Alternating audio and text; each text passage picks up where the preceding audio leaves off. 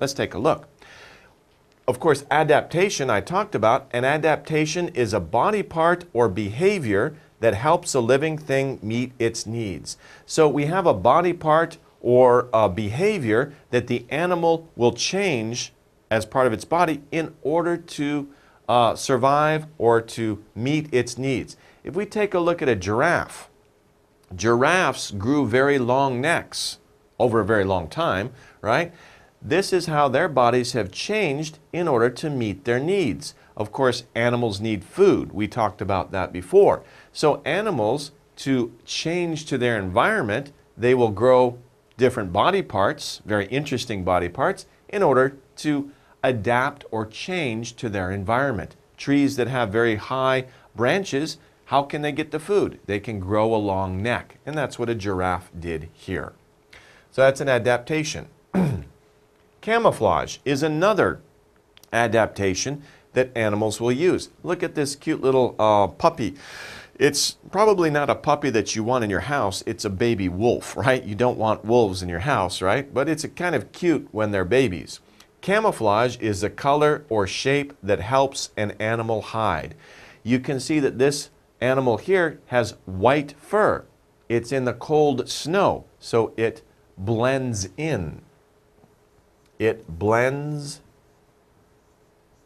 in to the background, right? It's hard to see. Let's take a look at a video. We have a video. Here's Mama Wolf, right? She's looking for her baby. He's on the other slide, okay? Let's take a look at the video. We can see that the very beautiful uh, wolf here, right? And this wolf lives way up north in the Arctic. And there's a lot of snow in the Arctic. Now, if this wolf was brown or gray or black, other animals would be able to see it very well. And here's Mama Wolf coming to say hello, right? So other animals could see it very well if they were different colors. But because they are white, because they have camouflage into the background, these wolves can come close to other animals that they eat more easily, right? They want to hide in the background. They don't want other animals to see them because the other animals will run away. They want to catch the other animals. So their body uh, fur is white to blend in to the surrounding snow. They're using camouflage to do that. And of course, you know, if you see wolves, some wolves will change the color of their fur. In the spring or summer, they'll be brown, and in the winter, their coat, their fur changes to white. So some animals will change, will adapt with the changing seasons. So that's very interesting. Now, another thing that we can talk about animals and adaptation. Of course, all animals need food, right? There's two kinds of food sources other animals or plants. Now, some animals have developed, they have changed their bodies so that they only eat other animals. We call those animals carnivores. A carnivore is an animal that only eats meat. So, a carnivore only eats meat. A carnivore is at the top of the food chain. That's an interesting one. Food chain. What is a food chain? If you think about it, plants would be very at the bottom. Plants are at the bottom here. What eats plants? Well, deer can eat plants, right? Deer will eat plants, but what eats deer? Wolves will eat deers. Wolves. Okay? So this is a very simple food chain. What eats wolves? Nothing eats wolves, right?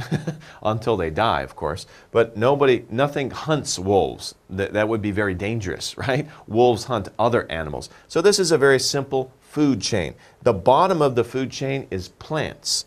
Deers eat plants, wolves eat deer. Wolves are at the top of the food chain. Wolves eat other animals. They are carnivores. Just like a bear is a carnivore, it eats other animals. It's eating a fish here. What eats a bear? Nothing eats a bear, right?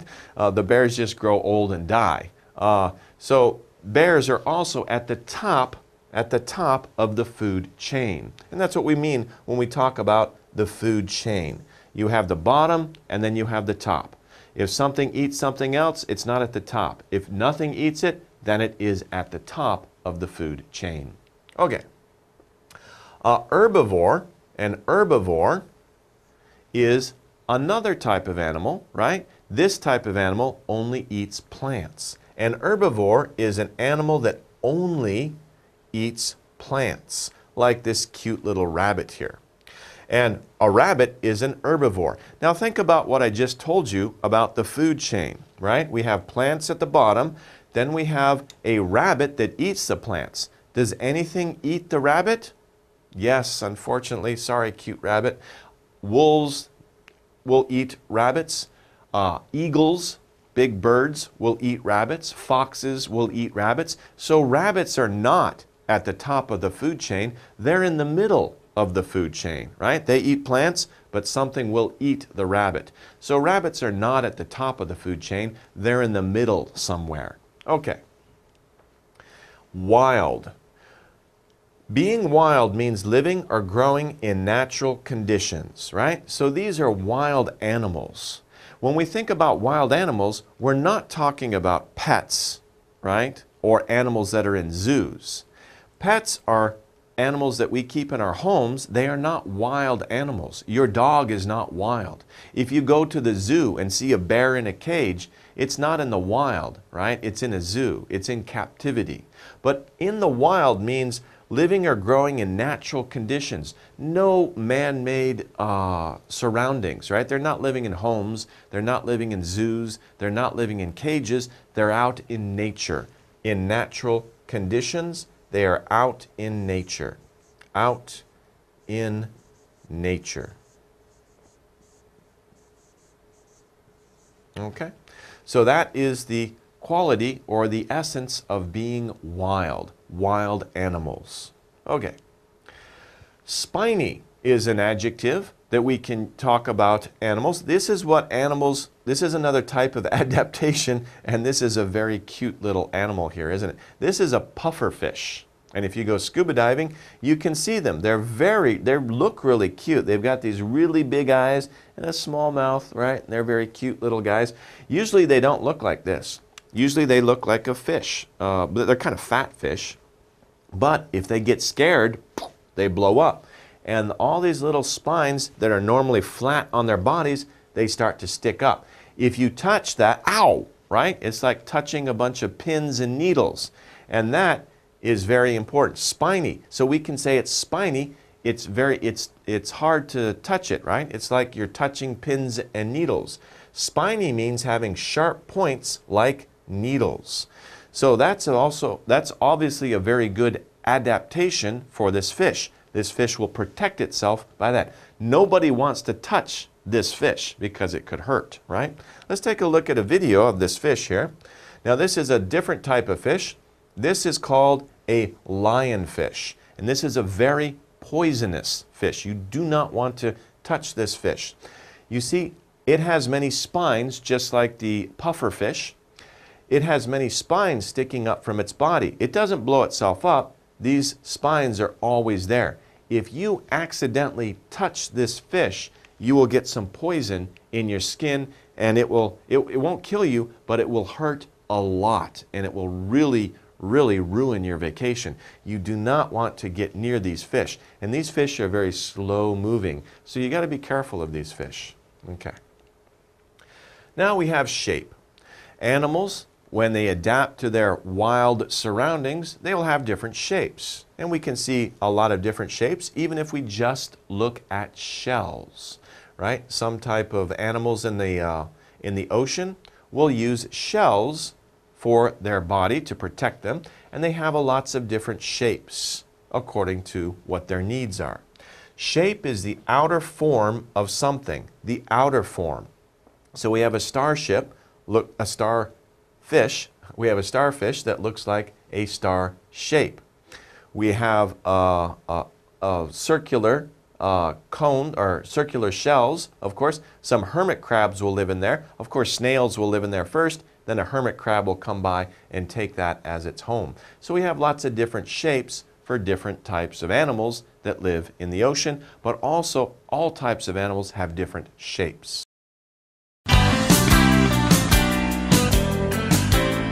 Lesson 3 Adaptations for Survival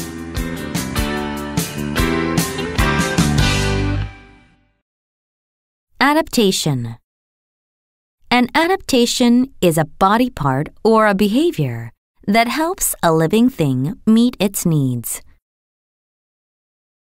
Camouflage Camouflage is the color or shape that helps an animal hide. Carnivore A carnivore is an animal that only eats meat. A carnivore is at the top of the food chain. Herbivore An herbivore is an animal that only eats plants. A rabbit is an herbivore. Wild Being wild means living or growing in natural conditions. Spiny Spiny means having sharp points like needles. Shape Shape is the outer form of something.